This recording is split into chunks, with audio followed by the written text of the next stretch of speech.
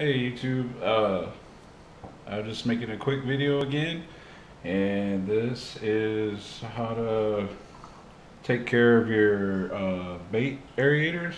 So you can buy a lot of these uh, at Walmart or Academy. This one's the Tsunami uh, box that I got from Walmart. It has a seal around there but still water still gets in. Um, you can see these screws are not stainless you know this one's got a brass insert so it's not as bad but basically what happens if you're like me you go out and you uh, you know you fish for your through the fishing season and change batteries and it gets thrown around in the truck in the boat or wherever and then you just put it in the garage and forget about it and then what happens is your batteries do this they just corrode uh, blow up uh, and cause a massive amount of corrosion. So what I do when this happens is uh, I take this uh, Krud Kutter, I buy it at Walmart, and I take a little uh, art brush and I dip it in the Krud Kutter and I brush it on these, uh, you know, terminals in here. And it kind of kills the rust. I brush it on the motor. If it gets in the motor, it's fine. I won't really hurt it. And that kind of kills the rust so that's the first thing I do. And then a lot of times the motor's frozen up so this is a known good battery so I, I'll go ahead and put it in here and you can see that it doesn't turn on. Now this one was the exact same way and so what I did was I took pulled the electric motor out like so let it hang and in the back of the motor you can see uh, right here there's some little vent holes. And so what happens is the brushes or armature or whatever's in here gets dirty and corroded. And so I take some Electrokleen and spray right in there with the switch on okay and what that did was it took a motor like this, it wouldn't turn on, to this one where it has full function of two speeds and, and works the way that it's supposed to. Uh, so the second thing that I did after I got the motor freed up and working was I take this Corrosion X, you can buy it at HEB, Walmart, uh, some Walmarts, not all of them. But it says kills rust and corrosion, safe on electronics, and it's a good lubricant, penetrant, and a good anti-seize. So I don't know that it kills rust, but it certainly keeps it from uh, taking place. Now when I sprayed this motor out with the Electrokleen, you can see on the paper towel how much crud ran out of it. It was like just a black river of junk.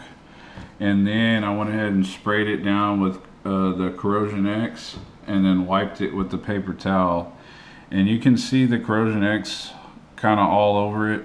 Uh, it doesn't really hurt it. Uh, what I'll do too is I'll take a brush and kind of brush in here with this with this uh, Corrosion X, you know, kind of spray a little bit in a bottle cap or something and dab it and just brush all the little metal components with this that you can and that'll help it last for a good while. And so you know, sometimes you can get these back running, sometimes you can't. I mean, this one's probably the cheapest one that I've ever bought. I think they're about four or five bucks, six bucks maybe. And it runs on a single uh, double A battery. There you can see the Corrosion X already sprayed in there real good and kind of soaked it. Oh, two batteries, I'm sorry. Uh, this one was the same thing. It didn't want to work. And now it functions just fine. So, you know, sometimes these little terminals will corrode up so bad on you that there's just no saving it. Or right here, this will corrode and break off. And sometimes you can resolder that connection and get it back working. Uh, sometimes you can't. Alright, so this one right here, you can see I've got it back cleaned up and got both speeds working. So that, you know, that might last another season. If not, I'll throw it away and buy some more aerators and put on there. But that's a little tip to service them instead of going out and buying another one, you know, and and spending a bunch of money. Uh, but uh, you know, just look look for corrosion, look for your two wires, and uh, a lot of times you can get these things back up and going. So, you know, like this one right here didn't want to run. Let's see if we can't just get it going real quick.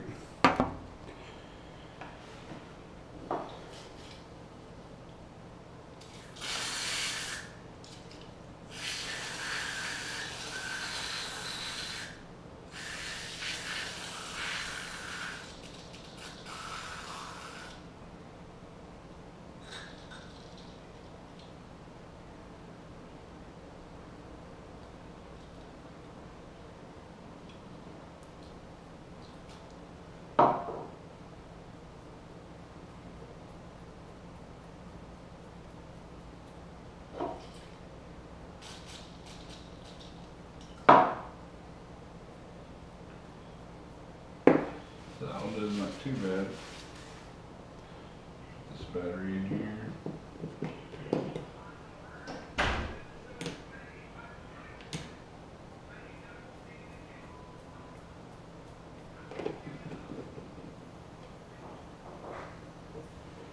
There it goes. So that one's running again. And uh, seems like some of these wires may have a weak connection because when I turn the battery, you know, that's when it, it takes off running. So I probably need to clean those battery terminals better. But once I get it running like this, I'll go ahead and let this run down through it.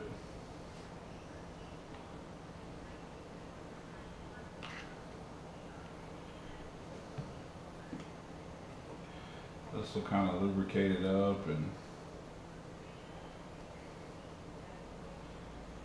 keep it from rusting anymore.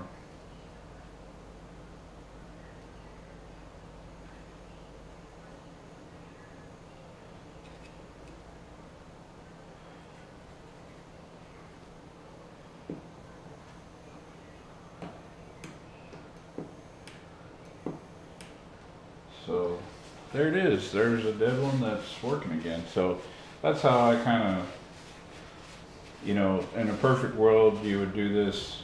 Uh, you would try to do this, you know,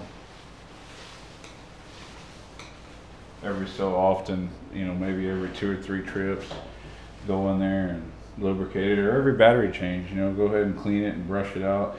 This stuff will come out with warm water and soap. Uh, you know, it's also good. I use it on my fishing reels and stuff, so I recommend this a lot.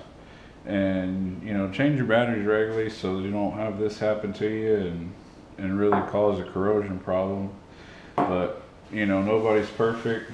We all get tired when we go fishing and come in and don't want to mess with stuff and ends up getting neglected. And this is one way that you can uh, take care of your little bait pumps and keep them going. So hopefully that helps and uh, good luck.